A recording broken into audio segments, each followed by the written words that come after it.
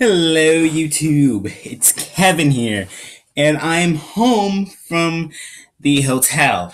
And I'm actually going to be staying home for a while. It's the end of the two weeks.